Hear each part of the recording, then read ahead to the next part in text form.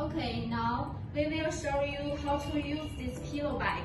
First, we can put the pillow inside of the bag.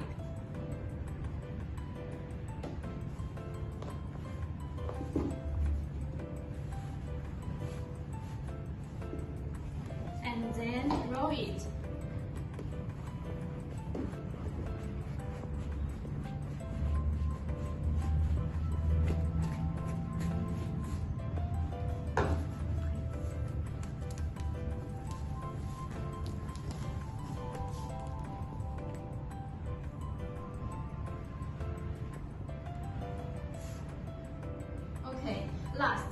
Can put it on my suitcase.